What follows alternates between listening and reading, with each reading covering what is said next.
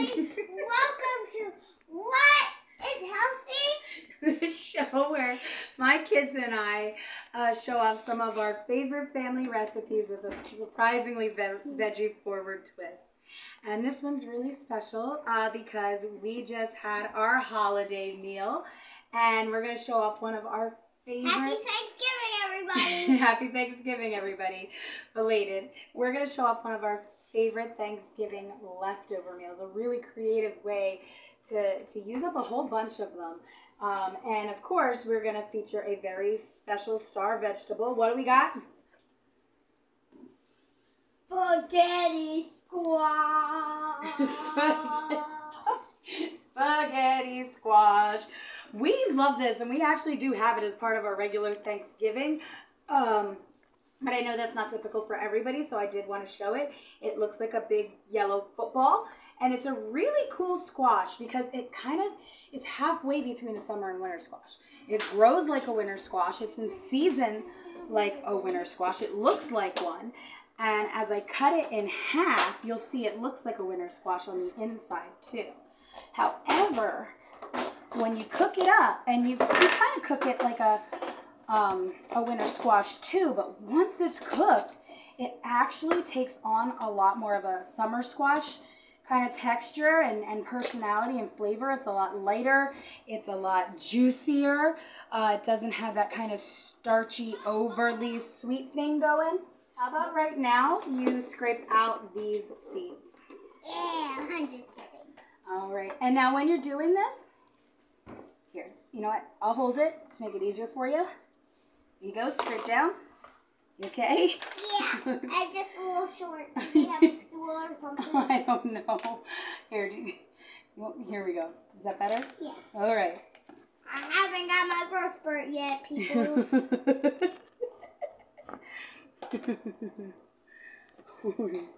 Do I want a hand, Delilah? no. No. Okay.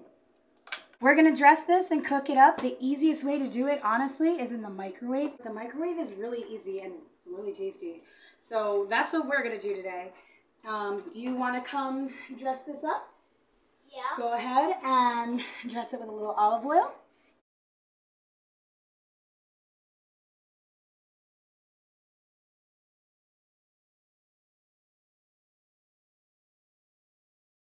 All right, and then we're just going to cover this up with some plastic wrap.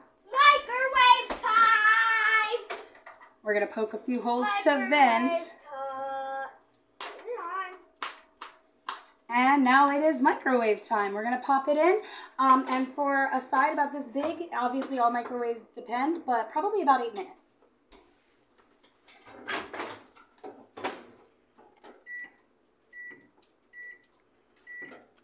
All right, and in eight minutes, that'll be ready. The Piscetti. The Piscetti squash is all done, um, but it is still really, really hot. So we're leaving it in the microwave to give it time to cool. And while we're doing that, we're gonna go ahead and start on our croquette filling, which is really easy because we are using all Thanksgiving leftovers for it. Like turkey. Like turkey. We can't have turkey croquettes without turkey. So go ahead and put in the turkey. You can use dark meat, light meat, whatever works for you. And, all right, go ahead. And now, Delilah, you can get your hands in and just shred it all up. I'll help. You can certainly use a knife if you want to blitz it in a food processor. You can do that too. Um, but this is fast and easy, and sometimes it's fun to be messy.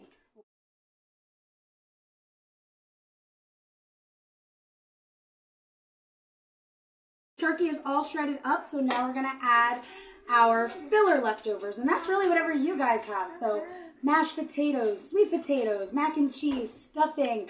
If you're a Hispanic house, you probably have some arroz con gandules. Whatever of that that you like, that's what you can put in. We've got two today. We're gonna do a mix of our mashed cauliflower because we don't do mashed potatoes. Uh, so that's gonna go in, and Not disgusting, but tastes.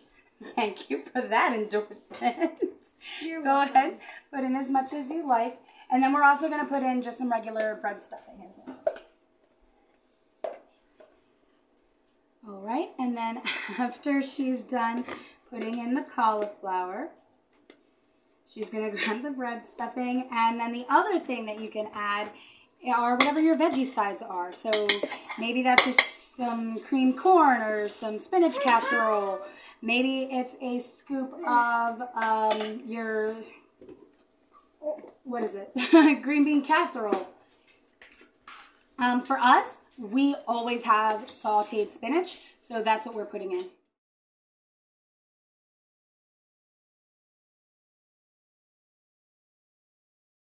And then the last thing you want to do, since we have so many dry ingredients. Just a little bit. What? Go ahead, just a little bit. There you go. That looks great. That looks great. All right, and then we're gonna stir all that up. Go ahead. Yay! You stir. And just mix it really well.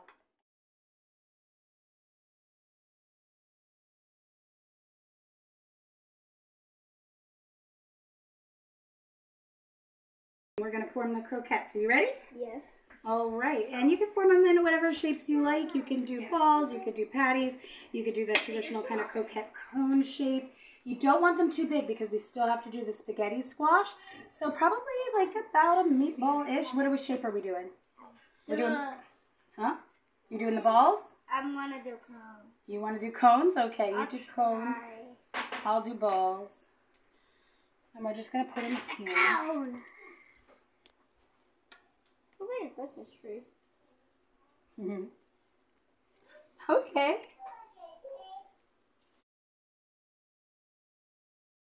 They don't have to be perfect. We do need to keep the food in the bowl, please. Now let's do a of shapes. I'm gonna do some patties too. why not? We're just gonna have fun with it. I'm gonna make it a heart. A heart? a heart croquette? Okay. That sounds a little tricky. Oh, that's pretty cute.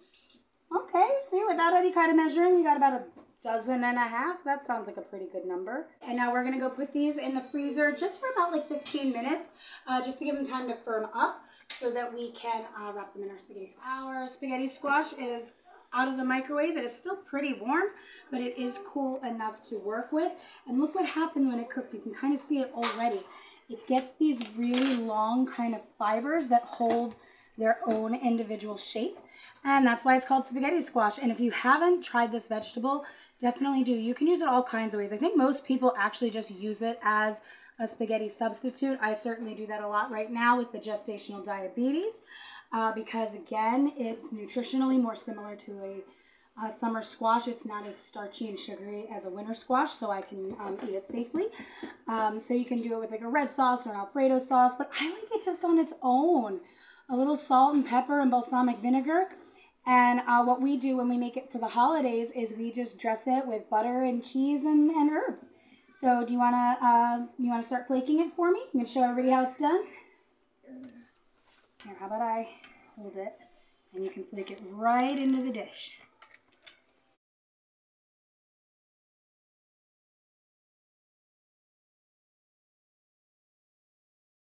So I think we are done.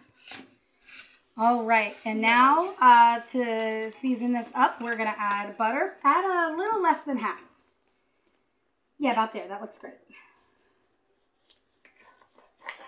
So when I'm supposed to cut it? Yep, that looks great. Yeah. Not funny. There we You're go. not funny. All right. Add the oregano! that is actually a spice blend that we just keep in the house. It's a mix of garlic, onion, oregano, parsley, and It's basil. oregano. Go ahead and put it in. Let's calm down the sass just a little bit, okay? Okay. Thank you, miss. Calm down. Come on the calm down the sass, turn on the funny. That sounds like a better plan because you are a very funny kid. All right, that looks good. You can add the shaky cheese and you can probably add the rest because that, that jar is pretty low.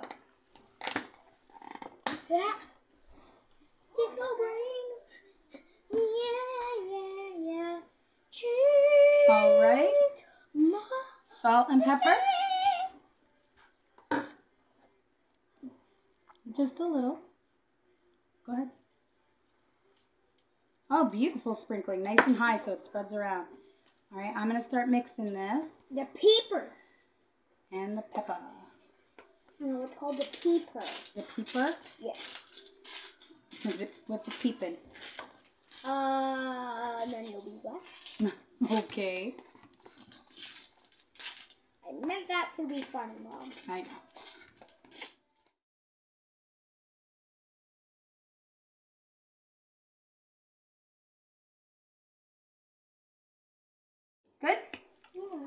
All right.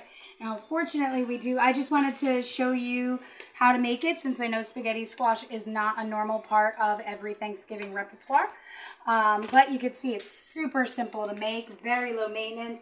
Uh, we have some already made, so we're going to use this and get started. Uh, the croquettes should have had enough time to set, so we'll show you how we finish them up in just a second. We are ready to assemble.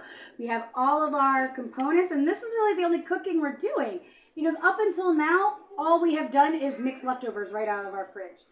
So we've got our croquettes that have had time to solidify and um, set, harden. We've got our spaghetti squash that is ready to go. And then we have just your tri- typical triple dredging station. Some flour, just seasoned with some salt and pepper, garlic and onion powder, eggs with a little bit of water added to thin the wash. And then over here we And some breadcrumbs. We have, and today we're using panko. And that's it. So to show you how to put them together, the lovely Delilah is going to get to work. So step one is not the croquettes. Hopefully. What we're going to do is we're going to make a patty um, of spaghetti squash onto our hands. Okay, and then plop that croquette right in the middle. How do you Now kind of, yep, cup it and bring it up the sides. You're right, it doesn't have to be perfect. And then you just do a little bit on the top. Give it a little roll around. Make sure we've covered everything really well. You can see now why we made the original croquettes so small because they get big. All right, roll it in the flour. Make sure you cover it everywhere. Gentle, gentle. They are still pretty soft because they're not frozen. We just froze them enough to, cooled them enough to set. Yep, and then into the egg wash. Careful, baby. Oh my gosh. All right, and then we're gonna wrap them in the breadcrumbs. Get them really well coated. We want so you could barely see any of the egg stuff. Right, we want it just lovely ball of breadcrumb. We have a few already made, so she's gonna keep working, but I'm gonna go ahead and put these um, into the skillet that has been um, warming up all this whole time. So let's go. This is uh, canola oil, but you can use whatever neutral cooking oil you like.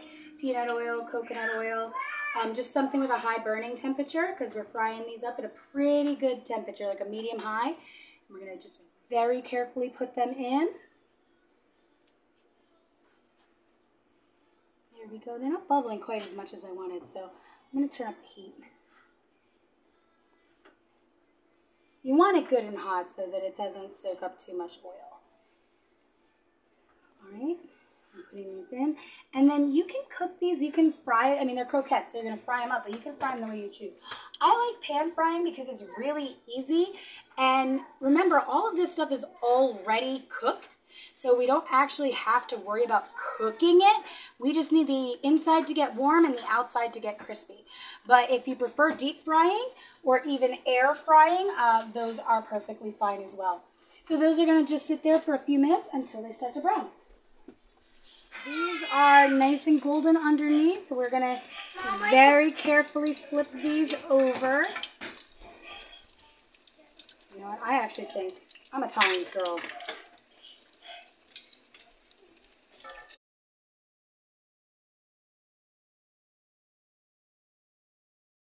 I think for the heart guy, I think we're gonna need more eggies. Okay. I think for the sure, honey. I think for the heart, we're gonna have to have to spatulate. Okay. Uh oh. Maybe putting it in the middle wasn't the best idea. Oh, look at that! Ooh, that one's super crispy. All right, so just a few more minutes to finish cooking on all sides, and they're gonna come out of the stove. All right, these look pretty golden, so it is time to take them out.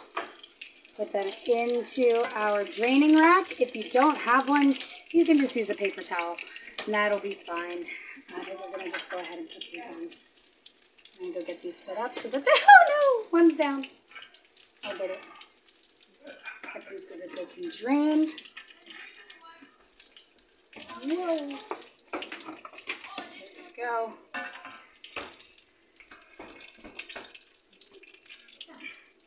See her funny little heart croquette.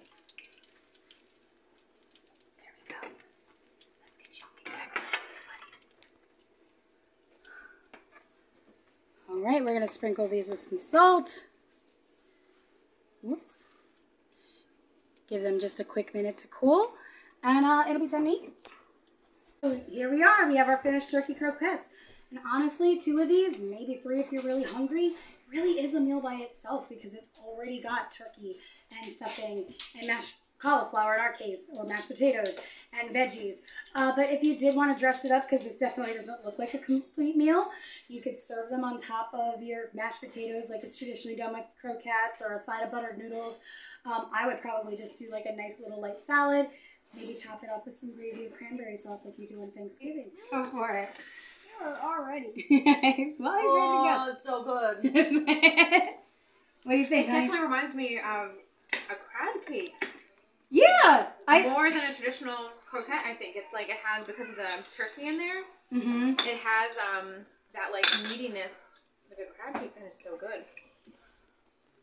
It is really good. And the spaghetti squash comes out like really creamy. Holy goodness, you came up with this? I did. I came up with this. Baby, come taste it. Zach is gonna love this because he loves um spaghetti squash.